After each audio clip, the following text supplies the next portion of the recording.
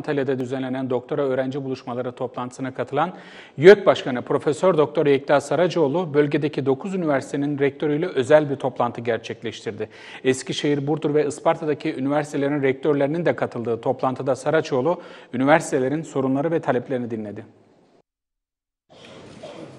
Antalya Akdeniz Üniversitesi'nde gerçekleştirilen YÖK 100 bölü 2000 öğrenci buluşmalarının ikincisine katılmak için Antalya'da bulunan Yüksek Öğrenim Kurulu Başkanı Profesör Doktor Yekta Saraçoğlu bölgedeki 9 üniversite rektörüyle özel bir toplantı gerçekleştirdi. Saraç'ın başkanlığında Akdeniz Üniversitesi Seneto toplantı salonunda bölgedeki üniversitelerin mevcut durumlarına ilişkin toplantı düzenlendi.